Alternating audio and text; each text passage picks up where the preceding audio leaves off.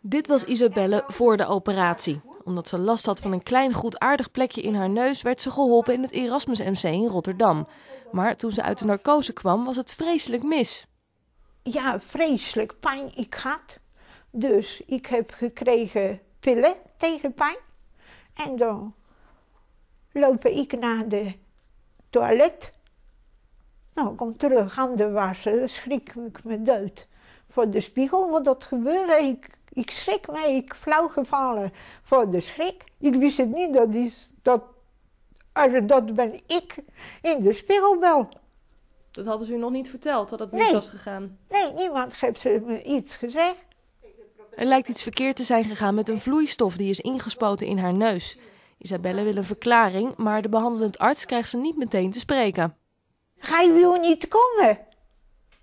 Hij komt niet naar mij toe. Ik lag op bed. En hij komt niet.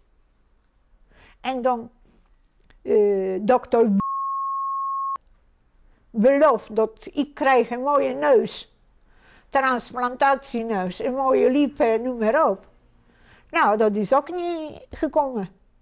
Na negen operaties en nog enkele te gaan, heeft Isabelle er geen vertrouwen meer in dat ze haar gezicht ooit nog terugkrijgt. Ze durft de straat na anderhalf jaar nog steeds niet op.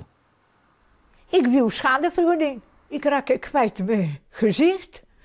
Wat is voor vrouw belangrijk? Mijn leven is verwoest.